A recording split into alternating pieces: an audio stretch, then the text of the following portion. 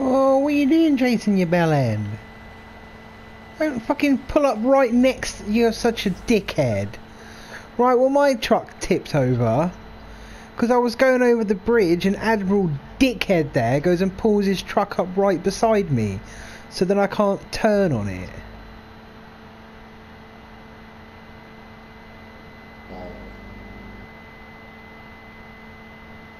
Don't go to drive off, Jason. Get the fuck back here and pull me out.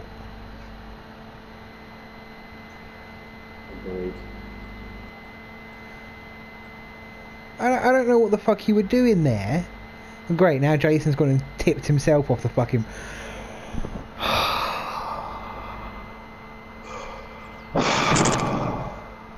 Jason, like.